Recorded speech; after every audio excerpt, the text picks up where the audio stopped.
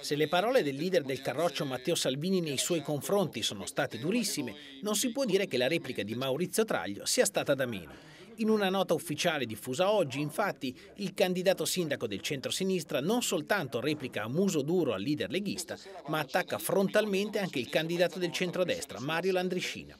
Da ieri, scrive Traglio, grazie alla visita da turista della politica e alle parole illuminanti di Salvini, abbiamo tre certezze ufficiali.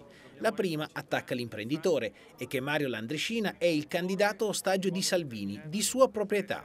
Landriscina non è il candidato dei moderati e dei cittadini di Como, visto che Salvini è il suo leader assoluto. Il secondo affondo di Traglio è sulla stessa falsariga. Il candidato di Salvini, si legge nella nota, garantisce il ritorno a Bruni e alla sua amministrazione disastrosa, visto che Salvini stesso afferma che una parte dei consiglieri sarà comunque di quella storia. Anche il terzo paragrafo è un attacco all'Andriscina.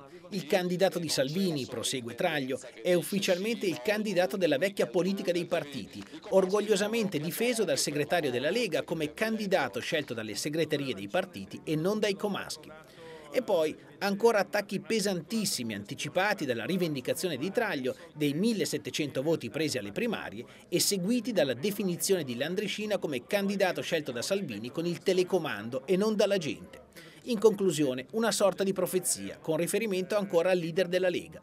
Il capo di Mario Landrescina ha una tremenda paura di perdere, conclude Traglio, visto che si è occupato più di parlare di me che del suo pupillo.